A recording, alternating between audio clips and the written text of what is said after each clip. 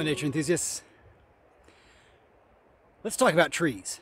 Not just any tree, a specific species. In fact, this one, sugar pines. Look at the size of this tree.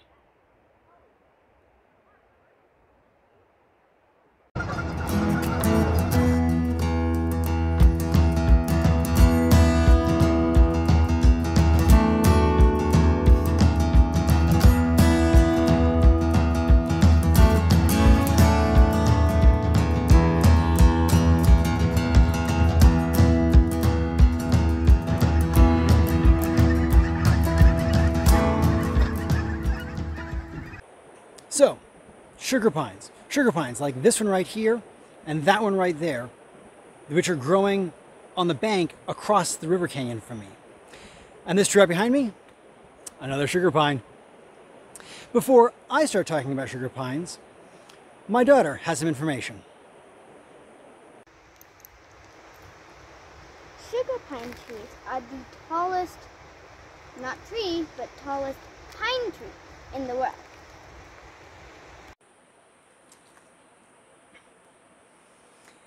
Not only that, but sugar pine cones are actually the longest conifer cone of any species. Look at the size of those things. This one's a little older, this one's a little younger, both just enormous. So sugar pines are found from Baja all the way to Oregon, as you can see in this map. And they're a really fantastic and interesting species not just because they are the tallest pine, not just because they have the longest cones of any conifer, but also because their seeds are incredibly high in sugar, they're a little bit sweeter, and also just protein and carbohydrates in general, which makes them a really important food source for a lot of animals. Chipmunks, jays, ravens, lots of different species eat the pine nuts from sugar pines. And they're also really interesting because unlike many conifers that can form very dense stands of the same species, sugar pines don't. Sugar pines grow sort of one here, one there, maybe you'll see a couple together, but not big stands of just sugar pine. They really are much more dispersed than that, which I think is just a really interesting evolutionary adaptation that they have. Unfortunately, however, Sugar pines are subject to several dangers. And this is something that, that is common not just to sugar pines, but to many conifer species in the western United States.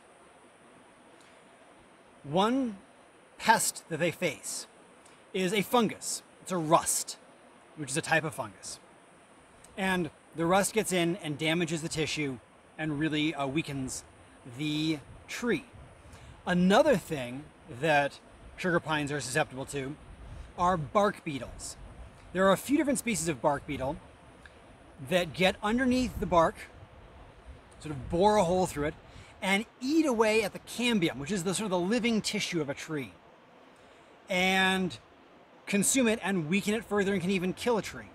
The susceptibility of sugar pines and other conifers to both the rust and bark beetles is made worse by drought conditions, which are a product of climate change. So as if the pests weren't bad enough to start with, we have this compounding issue of climate change making the western US generally hotter and drier, which stresses the trees more which makes it easier for both rusts and bark beetles to attack them. Not only that, but the bark beetles, for example, do better when it's warmer. They don't like the cold.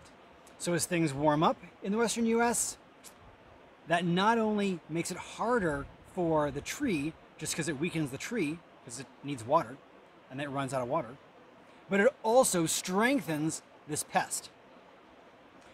So it's this real significant problem that is facing sugar pines, as well as, like I said, many other species of conifer in the western United States. Some really interesting groups are doing some really interesting work to try to combat this. There is a group that's looking at sugar pines, for example, and has tested several hundred different individual sugar pines and found some of them are more resistant to rust than others.